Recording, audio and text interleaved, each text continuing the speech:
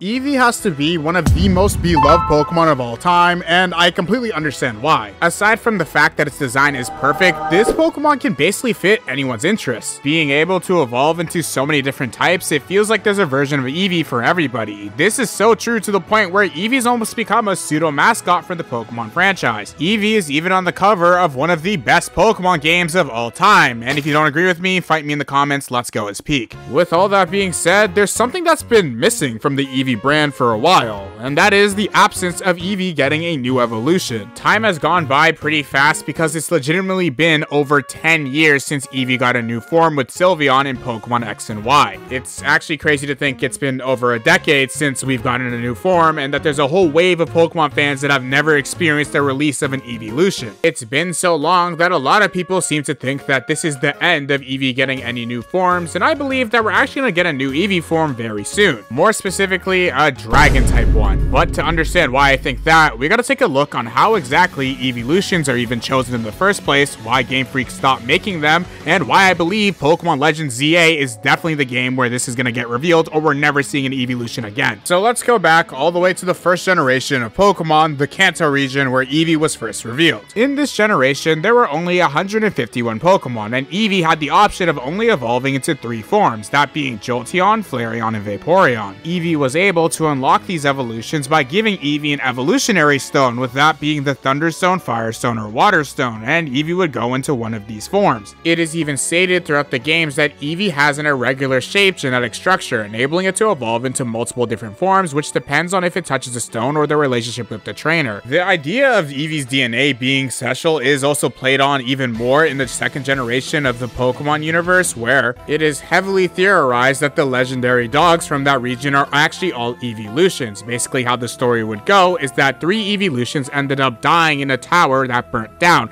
and Ho-Oh, the legendary Pokemon, ended up reviving these three Eeveelutions, turning them into Entei, Raikou, and Suicune. Surprisingly, in this generation too, it started the theme of us getting new evolutions every other game, where in this generation we got the Eeveelutions Umbreon and Espeon, the Psychic and Dark type pair for Eevee. And so far, if you haven't noticed, there's been an underlying theme on which Pokemon have the capabilities of evolving into an Eeveelution, and that is a special type. This is a term used to describe some types of Pokemon, which is completely irrelevant nowadays since they don't exist. In the first few Pokemon games, the stats worked a little differently than how they do today. There was a special stat and there was a physical stat. So if a Pokemon had stat buffs in the special category, it would in turn buff their special type moves, and if they buffed their physical stat category, it would buff their physical moves. So in really simple terms, a fire type would be considered a special type. So if you had special points, it would buff all your fire type moves, even moves like Fire Fang, while a fighting type would be considered a physical type. So no matter what the move is, as long as it's a fighting type, it would be considered a physical attack. This is all very important because Eevee has never evolved into a physical type ever. All the types in the past that would have been considered a physical type are normal, fighting, flying, ground, rock, bug,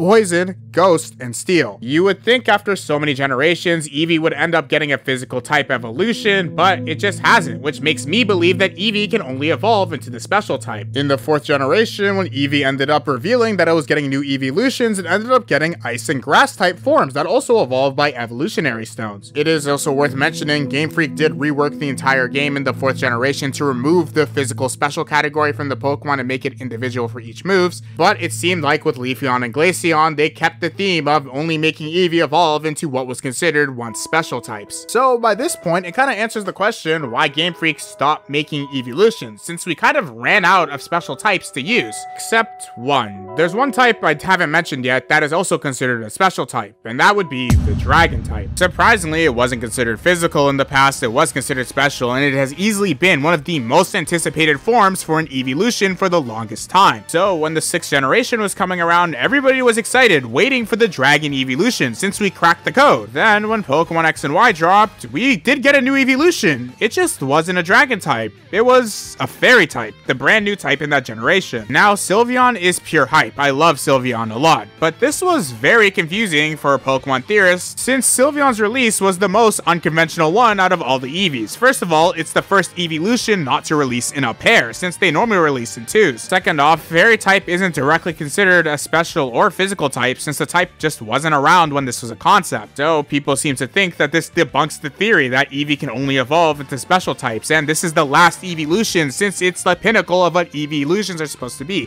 ending at the fairy type. This also doesn't help the fact that in Sun and Moon we didn't get a new evolution, and in the Galar region, the second generation after Sun and Moon, where people thought we would really get a dragon evolution based on the theme of the region, we got absolutely nothing. No hints, no nothing. It looks like it was completely dead. And if you believe Eevee's never getting another form again, that would be a completely reasonable explanation. Until Game Freak announced their brand new game coming out next year, Pokemon Legends ZA. This game is going to be taking place in the Kalos region, the last time we got an evolution, and Game Freak has the opportunity to do the coolest thing ever with revealing finally the Dragon type evolution. There is a pretty popular theory going around where what if Sylveon was supposed to release with a pair, the Dragon pair, and it just didn't come out because the Dragon evolutions are now extinct. But if the new Pokemon game Legends ZA takes place in the past of the Kalos region, it would be entirely possible to play as Eevee in this region and actually end up getting the materials needed